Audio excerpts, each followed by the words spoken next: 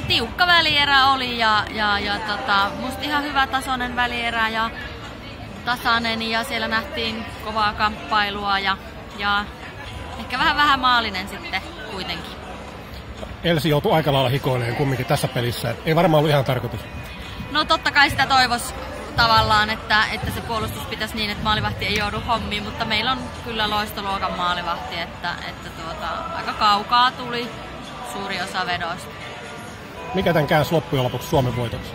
No kyllä mun mielestä semmoinen tietynlainen kärsivällisyys ja se itseluottamus ja se halu niin kuin tehdä sitä paremmin ja paremmin. Että ehkä meillä ei semmoista hätää kuitenkaan siinä päässyt tulemaan. Että päästiin johtoasemassa pelaamaan ja tiedettiin, että koko ajan pystytään vielä tosta parantamaan. Niin mun mielestä me oltiin kärsivällisiä ja semmoinen rauhallinen luottamus oli kyllä siellä penkissä.